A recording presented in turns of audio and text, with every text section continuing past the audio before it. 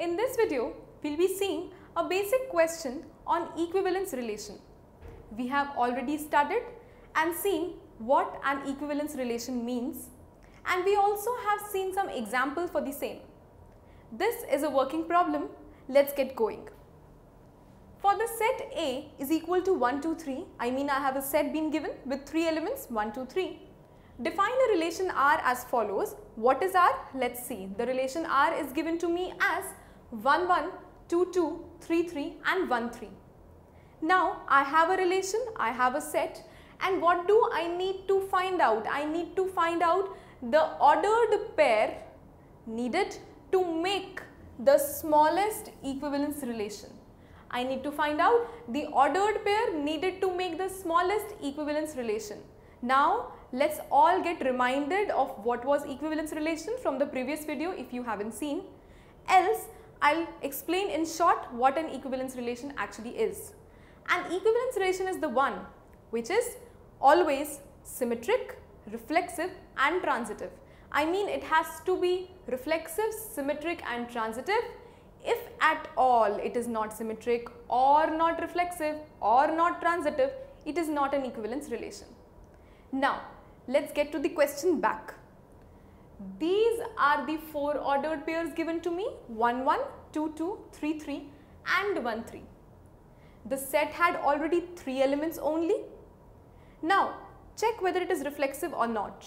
For reflexive, all these 3 elements have to be related to themselves. Yes, 1 is related to 1.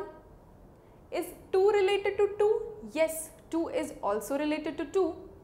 Is 3 related to 3? Yes, 3 is also related to 3. That means it is reflexive.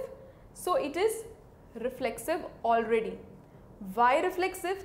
Because 1 1 is present in the relation, 2 2 is also present in the relation and 3 3 is also present in the relation. These all belong to R. Now, let's check what about symmetric. So, for symmetric, I know what is symmetric. If A related to B, that implies B related to A, then it is symmetric. Let's get back to the relation now. 1, 1, 2, 2, 3, 3 already covered. What about 1, 3? 1, 3 will only have to be symmetric if 3 1 is also present. So, for symmetric I need to add one relation, one ordered pair that is 3 1. This is needed. So, 3 1 to be added to make R that is the relation as symmetric.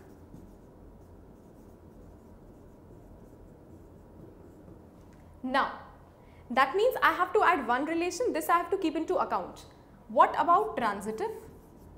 Let's check about transitive. For a transitive relation, I already know that if A related to B, B related to C and if it implies that A related to C, it means it is transitive. Let's see. These all relations are automatically transitive because they are reflexive. 1 related to 3, okay, when 1 related to 3 is present, that means if 1, 3 belongs to R and I have already added 3, 1, that means 3, 1 also belongs to R. Can these two not imply that 1, 1 should also belong to R? Because A related to B, B related to C, that means A should be related to C it says that 1 1 should be related to R. Now 1 1 is it present in the question relation? Yes it is already present. Similarly you can check for these relations also I mean 2 2. There is nothing present in the ordered pair where A is 2. So not an issue with these three relations. This is 3 3 this is 1 3. Let's check for this also. 3 3 belongs to R and 1 3 does it belong to R? Yes, 1 3 given in the question belongs to R. Now from these two, when 3 3 belongs to R, when 1 3 belongs to R, if 3 3, I mean this A and this C if 3 3 belongs to R, yes, it is a transitive relation. Yes, 3 3 belongs to R, so there is no issue with it. 3 3 belongs to R. That means only one relation has to be added to make this relation as the smallest equivalence relation. And what was added? 3 1 was added. Let's see which option is 3 1 and that is our answer.